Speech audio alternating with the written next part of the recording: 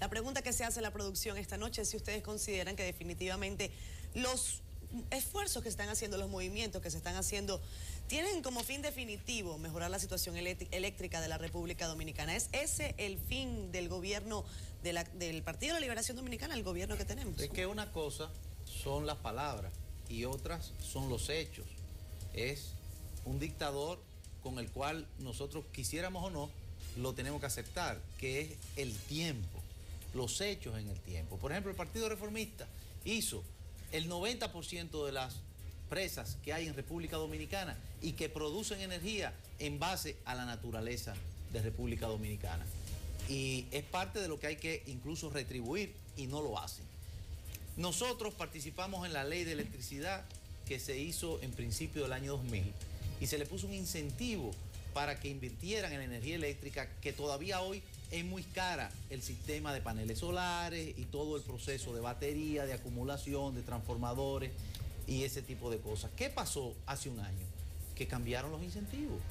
Entonces, menos posibilidades hay de que se invierta con energía alternativa. ¿Qué pasó hace más o menos siete años?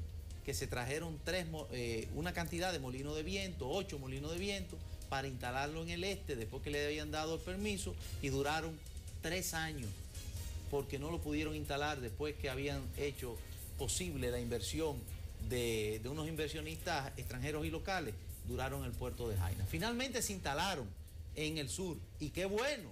Y ojalá se siga instalando. Pero eso eh, se instaló, pero no una palabra que tú usaste, la retribución no se ha visto en la población. Sí, pero lo, importante de esto es que todos nos integremos a que el modelo de producción de energía sea eficiente y que pueda tener una balanza. Miren lo que está pasando hoy día. Comenzamos con una planta de carbón.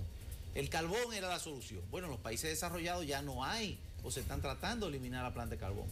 Eh, eh, una inversión cara, importante y con una licitación que, bueno, estuvo o está en discusiones por el proceso. Pero ¿qué pasa? Hoy el carbón es más caro que el petróleo, por cómo está el petróleo y mucho más caro que el gas también.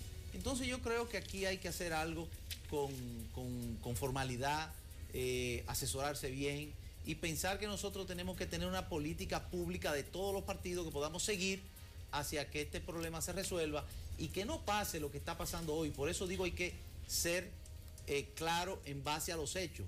No puede ser que nosotros tiremos al zafacón de la basura dos mil millones de dólares anuales por el subsidio de energía eléctrica. A mí me gusta siempre irme a la respuesta que espera la gente que nos está viendo, hecha por la producción. ¿Existe la voluntad por parte del gobierno? Yo me hago estas tres preguntas. En el decreto 389-14 de octubre, cuando el presidente de la República forma la comisión que va a empezar los trabajos para el pacto que se está anunciando el inicio del lunes, quien encabeza esa comisión es Antonio Isaconde, quien encabezó aquellas cosas del 97 y de esas privatizaciones. Pero no solamente eso, la segunda pregunta es, actualmente, el petróleo ha bajado el 70% de su costo. La tarifa eléctrica al consumidor, ¿qué rebaja se le ha producido? Y la tercera pregunta, y la tercera pregunta, en ese pacto, pacto es acuerdo, pacto es eh, tú ceder, yo doy, tú me das, un consenso. ¿Quién va a representar al consumidor? No me digan que es el, que es el gobierno. ¿eh? Que no me lo digan. Lo vamos a representar nosotros. Nosotros aquí que lo vamos a representar. nosotros somos parte del pacto. Y están todos los sectores también. Como presidente de la Comisión Permanente de eh, desarrollo, de economía, planificación y desarrollo. Nosotros estamos convocados y está convocada también la Comisión de Finanzas y la Comisión de Energía del Senado y de la Cámara. Y nosotros ahí vamos a defender eh, la posición del consumidor y la posición de que sea eficiente. Ahora bien, estamos esperando que nos citen. Estamos esperando que nos convoquen. Para el entonces, todavía. O sea, para el lunes lo han eh, convocado. El, lunes, la, el lunes la inauguración, el inicio. Pero, pero siguiendo un poquito. ¿Cómo si miembros de la comisión no lo han convocado? Él está más que convocado. No, no, no, no, no, se ha convocado de manera formal. No, de ninguna manera. Y ya enviamos la carta que el decreto del presidente, que es bien claro, exige de quién va a ser mi sustituto si yo no voy. Exacto. Y el sustituto es el vicepresidente de la comisión.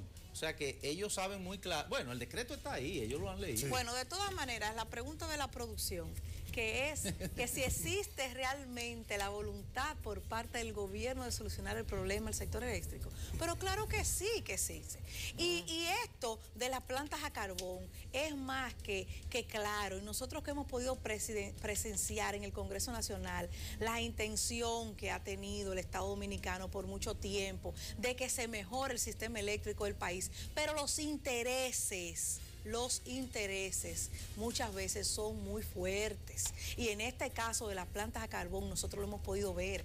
Ahí, para nosotros pasar alguna intención que tenga que ver para la mejoría de electricidad, no ha sido sencillo y los colegas que están aquí me pudieran decir si sí o si no. O sea, es un tema complejo, es un tema que no podemos apostar a que se siga postergando. Debemos asumirlo de una vez por todas. Y los gobiernos del Partido de la Liberación Dominicana, con sus éxitos, y con lo que no han sido tan éxitos en el sector eléctrico, han pasado más que de las palabras a los hechos. Las intenciones, tanto de privatizar en aquel momento, entendiendo que pudo haber sido la mejor salida, bueno, pues no se dieron los resultados que esperábamos, no se logró. Pero de que se ha trabajado en la materia eléctrica para mejorar el sistema eléctrico de la República Dominicana, se trabaja a diario. Y yo sé que es uno de los compromisos que tiene el Partido de la Liberación Dominicana para lograr en la República Dominicana. Miren, yo quisiera que las personas que nos están escuchando, los ciudadanos y ciudadanas que esta hora están en su casa,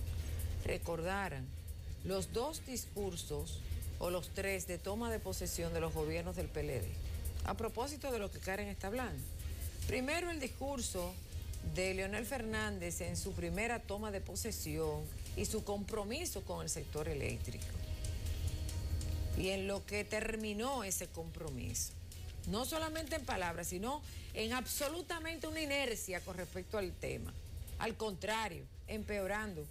Todo lo que fue el activo que tenía la Corporación Dominicana de Electricidad, en ese momento todavía no era de empresas eléctricas estatales, porque además las otras dos empresas no se habían desarrollado, fue prácticamente regalado porque fue vendida o fue subastada a precio de vaca muerta para poder conseguir una sociedad con unos inversionistas que luego no pudieron cumplir con su parte. ¿En qué terminó eso? En que hubo que recomprarle sus acciones a esos inversionistas. Los, los acuerdos de Madrid, o como se le llama a la renegociación que se hicieron, fue para resolver la ineficiencia del primer acuerdo, que obligaba al gobierno a pagar de manera rápida, que tenía que pagar en el 2001 y que estos acuerdos previos al gobierno hicieron que los contratos se postergaran y que las empresas se comprometieran a suministrar mucho más combustible. Algunas de las empresas que son beneficiarias de este pacto tuvieron que adquirir esa energía en el mercado spot porque no la producían siquiera. Esto ha traído una situación de descontrol y que eh, de alguna manera la renegociación del Pacto de Madrid en ese momento que había tanta inestabilidad produjo estabilidad a las generadoras y también a las distribuidoras, que éramos socios porque el gobierno dominicano era socio en, en ambas operaciones. Entonces lo que nosotros queremos ya finalmente es destacar que el presidente Danilo Medina, en la nueva gestión del PLD, perdón, de, Leonel Fernández, volvió a tocar el tema eléctrico, volvió a comprometerse y volvió a, hacer, a quedar mal frente al país. Y ahora Danilo Medina, que se compromete y hace suyo el propósito en su toma de posesión, a dos años viene a hablar de un pacto que solamente son palabras, porque no hay absolutamente ningún criterio claro. En dos años no se puede resolver el problema eléctrico y no es verdad que a menos de dos años de que este gobierno termine, va Danilo Medina a promover ningún pacto. Eso debió haberlo hecho convocado al otro día de que él llegó al la Fuerza, no creo yo que hay ninguna voluntad. La fuerza, lo que tú dices de que no hay voluntad, la da el hecho de que la República Dominicana es el país con el mayor porcentaje de pérdida de Latinoamérica más de 38%. Precisamente. Chile y Argentina bajaron de 33 a menos de 10 en 8 años. En ocho años. Precisamente el Aquí no hemos bajado desorden un eléctrico. punto en, en 16. El desorden, El desorden el eléctrico desorden después de de 12 este de país, De de 16, este país, No, lo todavía, ahora, lo donde corrido Entonces ya van 14. porque Ya van el primer 14. desorden Hasta para eh, llevar. fue, fue No precisamente van me 14 diga, o sea que en los gobiernos del PRD ni del Partido Reformista la luz en la República Dominicana. No, no. Pero no eh, esa- Bueno, no- la No infraestructura había eléctrica.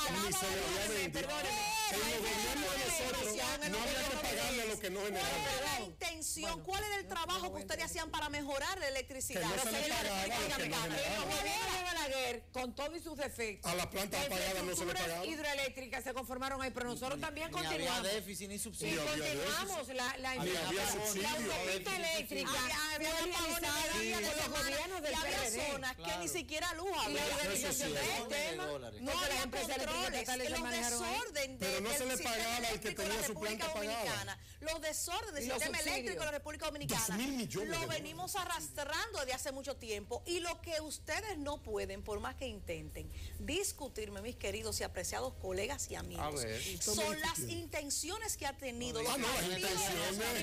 Dominicana que han pasado, que No han verdad. pasado de ¿Cuál la queja, de la crítica al Resultado. trabajo, al compromiso y aunque ustedes quieran llamar ensayo, Al y pueblo quieran no le llamar interesa la contrato, intención, es y que quieran llamar lo que fuera, parte de las soluciones de los problemas eléctricos de este país ha venido a traído el PLD. subsidio. Dos mil millones de dólares Es mucho lo que hemos Y avanzado. esta es la En hora 16 Pero es años mucho lo que hemos avanzado. En agudizar la algunos crisis hemos barrios, avanzado. Aquí ahora mismo hay pocos sectores que no barata, Karen, porque mire, vamos a decirle a la No, gente que está ahí. tenemos un país Oiga, óigame, ciudadano, usted está pagando la luz más barata. Exacto. Está recibiendo mejor El servicio. petróleo ha bajado Estamos 70%. ese- ha ese bajado la resultado. tarifa, Es que no Pero no estoy hablando de de luz más barata, no estoy hablando de luz más barata, estamos cara hablando del sistema ¿Y de qué eléctrico estamos del hablando? país. ¿Y de qué estamos no, hablando? porque no estamos hablando de que si ¿De la luz qué está más barata está hablando? más pero se cara. supone que los mejores técnicos del mundo y del país están en el PLD. Y en estamos- 16 años no Estamos hablando del pacto eléctrico. Estamos hablando del pacto prueba, lo Y bueno de que una el eléctrico. intención. El pacto eléctrico, doctora Yanilda, bueno está motivado a que se vence el acuerdo y que vamos a durar político, seis meses debatiendo prácticamente toda la fuerza del país consensuando para poder lograr una mejor regulación. la también. Exacto, como ¿Cómo consensuar se- la constitución y después hacer lo que, lo que, ¿Con lo qué que Lamentablemente, en un estado de desesperanza, en el estado de desesperanza que ustedes plantean, yo creo que el pueblo dominicano, si se llevara simplemente de su opinión, Exacto. tendría que esperar tanto el gobierno de Yanilda Vázquez como el gobierno de Ito Bisonó para que se les el- resuelva la luz, para que se les resuelva la pobreza, para que tengan comida barata, todo el mundo En el del goce. ingeniero Miguel Vargas eso va a quedar Pero lamentablemente hay que esperar un tiempecito.